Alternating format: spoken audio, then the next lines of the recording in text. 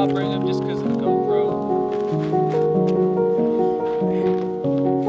All right, good morning, YouTube. Here we are. We are in Aspen, Colorado. A place called Aspen. A place called Aspen. This is 8,000 feet above sea level, so 2,400 meters. I looked it up ahead of time. This is a true vertical K um, running route, and they do races here. Actually, this is going to be my first race of 2019, and my brother's, Joseph, he's over there getting ready. Uh, it's basically to be a vertical K race, it needs to be a thousand meters of climbing in less than three miles of distance. So we're talking straight up the mountain. And yes, when we do the race, we will be racing against uh, skiers. So people that are skinning up the mountain, and we will be running, but people will be skiing up. And it actually depending on the snow conditions, can determine like who has the advantage. So anyway, that'll be March 9th, and we're here just doing a little course preview. Uh, and it tops out at 11, what does it top out at? 11212 is the top, so 3,400 meters, so that 1,000 meters of climbing, and uh, it's like 22 degrees, it's perfect out, and we're just gonna go get a nice morning workout. it's gonna it's gonna hurt. It's gonna hurt. Oh yeah, and I'll bring the GoPro. Oh man, can you see it behind me? All right, here we go. Butter my bread, butter my bread. These guys, I'm telling you, I think I'm all, I'm almost getting to 40 miles in these shoes. So full review coming very soon for the Speedcross 5s. Oh, let's go climbing. they came in sections.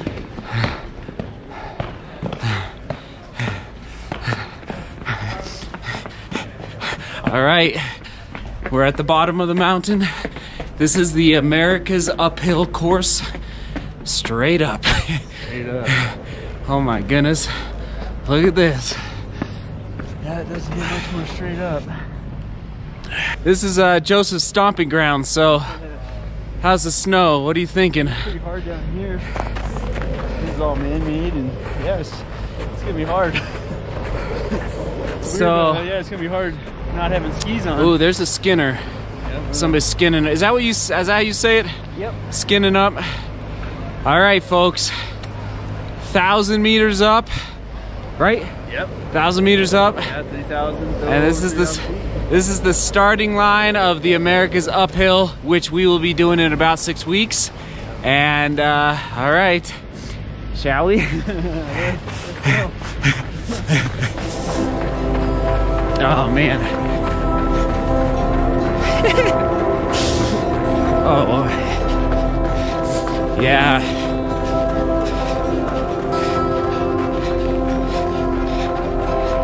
Holy shnikes.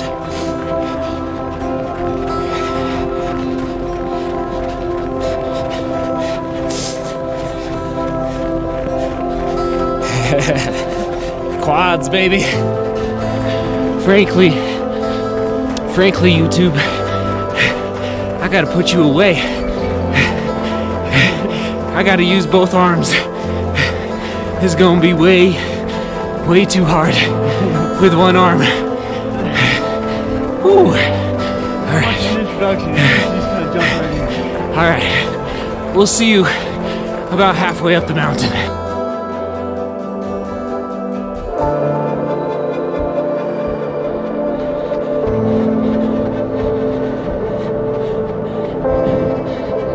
All right, we're approaching the halfway point. This is a doozy. I'd say this is a lot harder than running Grays and Torreys. You know, it feels, we're talking about a quad burn.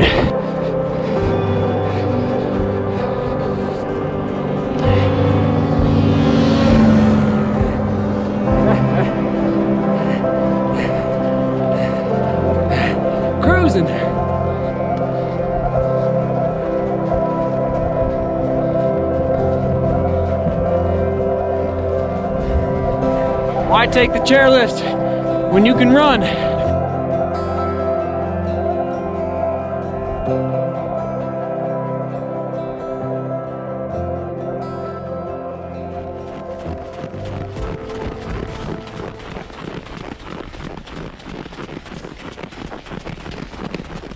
think I've seen you take a few Insta yeah. photos here.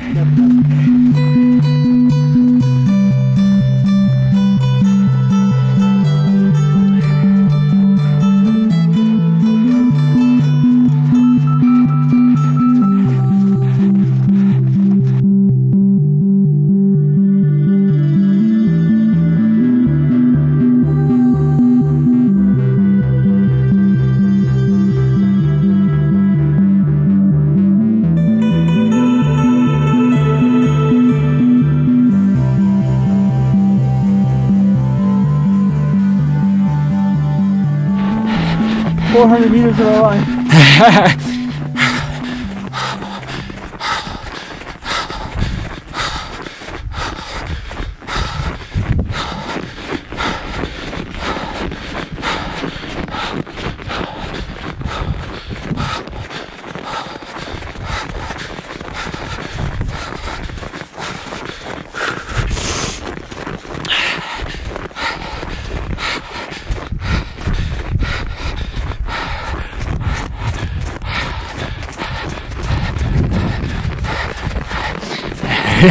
That looks pretty sweet.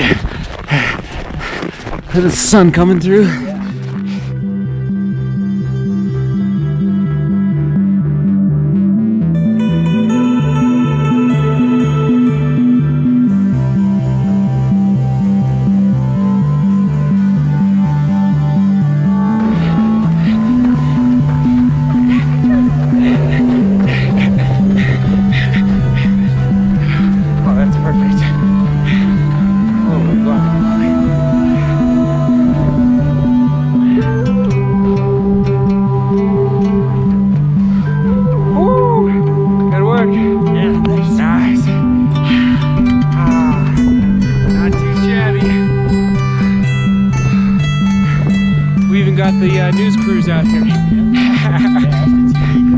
That what it is?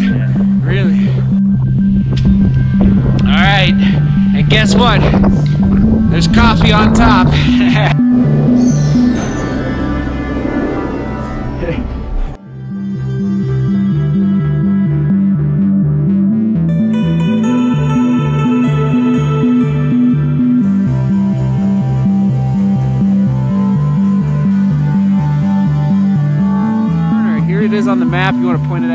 Yeah.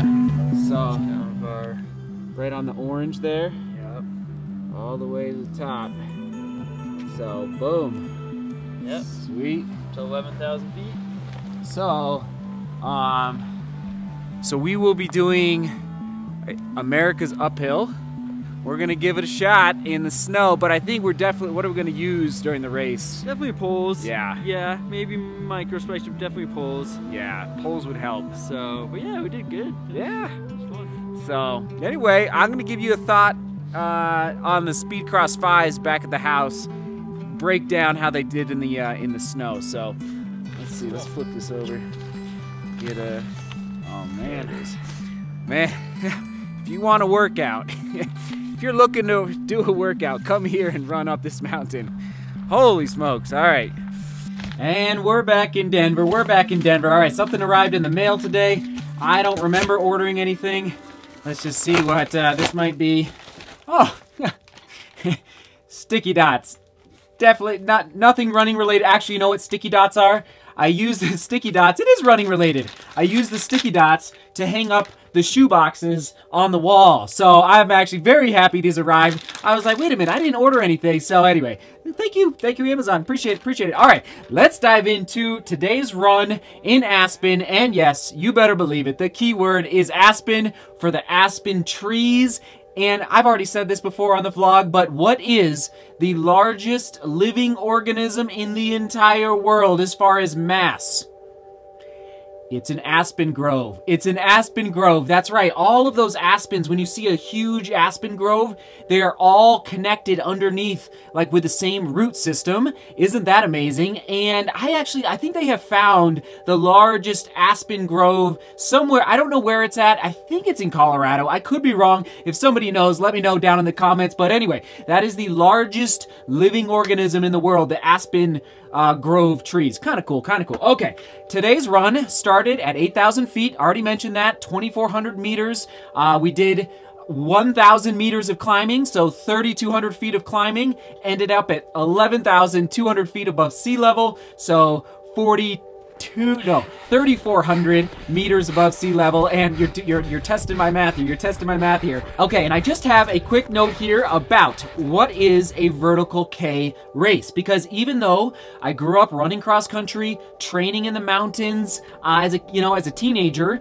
and then even growing up pretty close to the leadville 100 course I had never heard of a vertical K race. And I think it's really, really, it's a fascinating uh, concept for trail racing. It's very challenging, very difficult, but just like I had never known about these types of races until about three years ago. So if you are strong, like at speed and climbing and like you're just uh you're just like a strong runner. Like almost like an 800 meter runner that has uh that aerobic uh development like that good endurance. That's like a good combo like good strength. Uh so the vertical k is a thousand meters of climbing or one one kilometer of elevation gain in less than basically 5k of, of total distance. So today we went two and a half miles of distance but 1000 uh, meters of climbing So that was technically a vertical K race. And in fact, that's what we will be doing on March 9th back there at that course. And so anyway, that's my little tidbit for your, uh, because running and racing is so diverse you can go run through the Gobi Desert, or there's maybe it's the Sahara. Like you can go run the Boston Marathon. You can go run, um, you can go run across. You can go do FKT uh, attempts where you run over the mountains in a non-race environment, but you're going for the FKT, the fastest known time. All I'm saying is like if you are feeling maybe a little like burned out at a certain type of racing or a certain distance, I would like there's so many opportunities out there for to diversify your racing um your racing lineup. And anyway, it just gets me excited because I was all in on like ultra running and listen, ran up against some brick walls in 2018 trying to run a 50 mile race, DNF, tried to run a 100 mile a 100 mile race, DNF, and I'm like, eh, yeah, okay, let's change it up a little bit in 2019. Boom, Cleveland Marathon, Cleveland Marathon, and this vertical K race. Like I've, I've actually never raced a vertical K. So I digress. Oh my goodness. And in that vertical K race in Aspen on March 9th, I will I was I, I, was probably wrong. I told you last week that you should not race in this shoe. You should not race in this shoe unless you're doing a vertical K race in snow. This shoe probably is going to be the best bet unless unless Inov-8 sends me some mud claws, unless Inov-8 sends me some mud claws. But for now, this is probably going to be the best option because of the lug action on the bottom is just deeper and a better grip compared to the Salomon S Lab Sense 7 SG. And this heel is a little built up, and so it'll actually provide just a little bit of support when you're starting to get tired toward the top of the mountain. So there's a really, it performed well today. I, we slipped a little bit at certain points where it got really steep or the snow got really soft. And on that note, if it snows the night before the race, like we are, we are going to be in for a tough, tough uh, situation. But uh, we will do our best in these shoes, and it'll be interesting to see the percentage the percentage of skiers versus the, versus the percentage of runners. And um, we'll definitely be using poles and going up that mountain. So they performed well today. Ah, love these shoes. Love these shoes. And last point, I'm almost, I'm getting close to like 35 miles in the shoes already, so I expect to get you a full review in the next week. So if you are a big fan of Salomon and the Speed Cross lineup and, you know, mountain running, that's coming very soon. Okay, and lastly, the question of the day. Here we go. It's actually, I'm going back to the archive thanks to all of you for asking questions. I think it was six days ago, and this is from Robert, and I love this, and this is where we're going to lean into the uh, wisdom of the marathon community, especially. So, all the veteran marathon runners out there, uh, we need your help. This is what Robert asked, and this is the question of the day. Shout out to Robert. Thank you for this. He asked, uh, one related question would be to marathon vets. What's the one thing you wish you had known before running your first marathon. Just one thing that you wish you would have known. That's the question of the day. And if you are not racing a marathon in 2019, if you're in high school or college, or, or maybe you're, you know, in your 60s, it's like maybe you have aspirations to run a marathon, go down into the comments and just start chiming in and asking questions back because I know I will be. Because yeah, this is it. This is like I'm,